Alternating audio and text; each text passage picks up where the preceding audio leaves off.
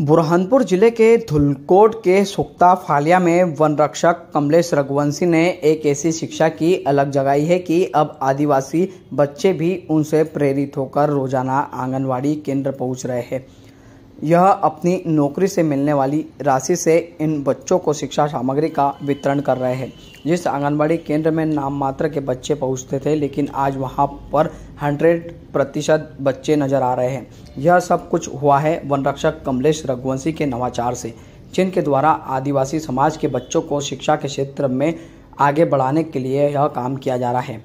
शिक्षा के क्षेत्र में इस नवाचार को लेकर वन रक्षक की ज़िले में चारों ओर प्रशंसा हो रही है और उनकी मदद करने के लिए और भी सामाजिक संस्था के लोग उनसे जुड़ रहे हैं। वन रक्षक कमलेश द्वारा एक आदिवासी बच्चों के लिए कक्षा पहली से कक्षा आठवीं तक एक इंग्लिश मीडियम स्कूल का संचालन भी किया जा रहा है। लेकिन अब वे आंगनवाड़ी में पढ़ने वाले बच्चे रोज़ आंगनवाड़ी पर पहुँचे ताकि वो भी शिक्षा ग्रहण कर सके और उन्हें भी शिक्षा का ज्ञान हो। इसके लिए उनके द्वारा नवाचार किया गया है। इस आंगनवाड़ी केंद्र में आने वाले बच्चों को उनके द्वारा कॉपी, किताब, पेन, पेंसिल, स्केल, बैग के साथ अन्य सामग्री वितरित की जा रही है, जिससे अब आंगनवाड़ी में 100 प्रतिशत बच्चे उपस्थित हो रहे हैं। आते थे, पंद्रह से बीस तक आते थे। अब पचास से पचपन बच्चे आने लग गए। ये मतलब नाकेदार भैया है, उनकी तरफ़ से। और किया है? और इन्हीं के वजह से ये घर घर जाकर प्रयास कर रहे हैं, बच्चों को बुला बुला कर लाते हैं। और बच्चे आ भी रहे हैं। और यहाँ इतनी व्यवस्थाएँ नहीं थी।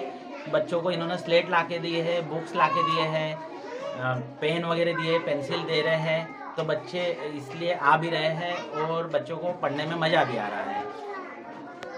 लगातार यहाँ दो तीन साल से पदस्थ हूँ। मेरा पूरा एरिया ज़्यादातर फॉरेस्ट का आता है। उसमें मेरा प्रयास है कि अब कोई भी ट्राइबल एरिया में शिक्षा से वंचित न रहे। इसके लिए मैं लगातार कोशिश कर रहा हूँ। पिछले दो तीन साल से भी किया, लेकिन अब ज़्यादातर कोशिश कर रहा हूँ और कुछ समाज के लोगों को भी जोड़ा है। जो जिनको जोड़ने से क्या मुझे आर्थिक सहायता भी मिल रही है, उनका सहयोग भी मिल रहा है, ताकि मैं और जो शिक्षा से वंचित रह गए हैं, गरीब आदिवासी बच्चे, उनको किसी भी तरह के तरीके से ला के उनको अक्षर ज्ञान मिल सके, ताकि उनका भविष्य आगे बढ़ सके, जिससे वो देश और समाज के लिए अच्छा कार्य कर सके।